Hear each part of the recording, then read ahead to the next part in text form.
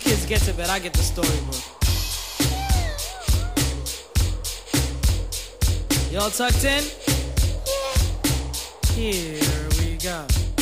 Once upon a time, not long ago, when people wore pajamas and lived life slow, where laws were stern and justice stood, and people were behaving like they ought to good, there lived a little boy who was misled by another little boy, and this is what he said. Me and you tonight, we're gonna make some cash, robbing old folks and making the dash. They did the job, money came with ease, but one couldn't stop. It's like he had a disease. He robbed another Stick and 'em up, another stick 'em and a sister and a brother. Tried to rob a man who was a DT undercover. The cop grabbed his arm, he started acting erratic. He said, Keep still, boy, no need for static. Punched him in his belly and he gave him a slap. But little did he know the little boy was strapped. The kid pulled out a gun, he said, Why'd you hit me?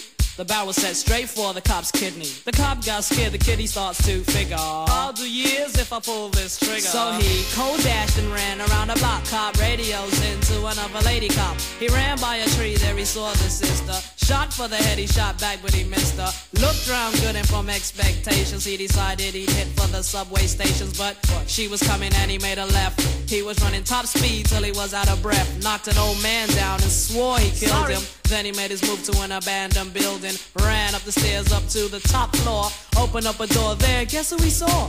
Dave, the dope fiend shooting dope. Who don't know the meaning of water nor soap? He said. I need bullets. Hurry up, run. The dope fiend brought back a spanking shotgun. He went outside, but there was cops all over. Then he dipped into a car, a stolen Nova. Raced up the block doing 83. Crashed into a tree near University. Escaped alive, though the car was battered. Rat-a-tat-tatted and all the cops scattered. Ran out of bullets and he still had static.